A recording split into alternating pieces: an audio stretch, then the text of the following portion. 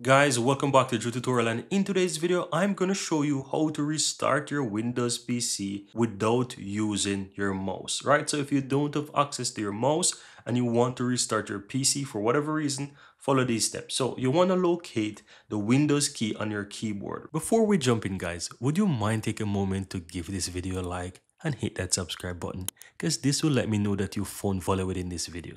And on top of that, the biggest benefit is that you'll never miss out when I release future videos just like this one. Now let's continue. Right, so go ahead and find that Windows key. I'm sure you know what it looks like. Press on that.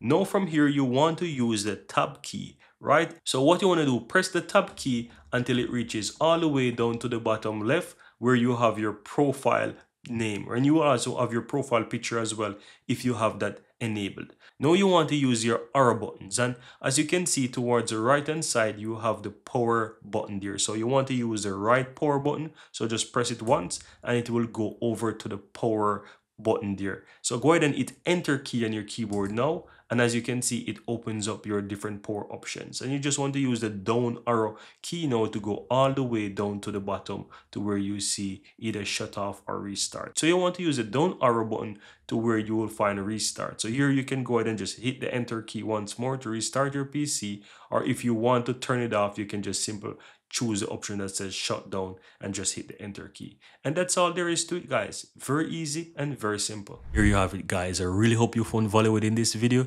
And if you do, don't forget to take a moment to give this video a like and hit that subscribe button so that you'll never miss out when I release future videos just like this one. Thank you guys for watching and see you next time.